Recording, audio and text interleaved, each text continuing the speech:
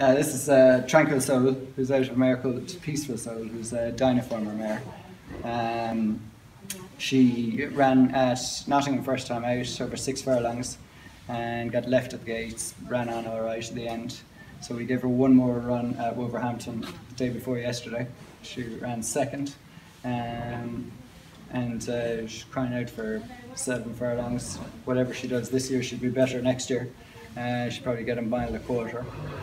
Dam was a good pedigree, was uh, very weak and backward as a, as a three-year-old and never really did much on the track. But um, this filly looks like um, sometimes it can skip a, a, generation and she's done everything that's asked of her and the fact that she's even able to run over six um, is a, credit to her and um, seems to be going the right way but should be a filly to keep an eye on for the rest of the year.